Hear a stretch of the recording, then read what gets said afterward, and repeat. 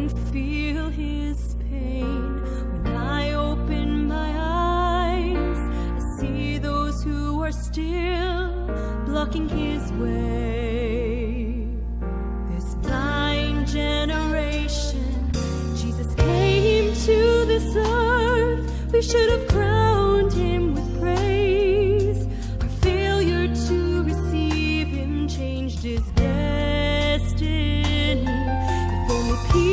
true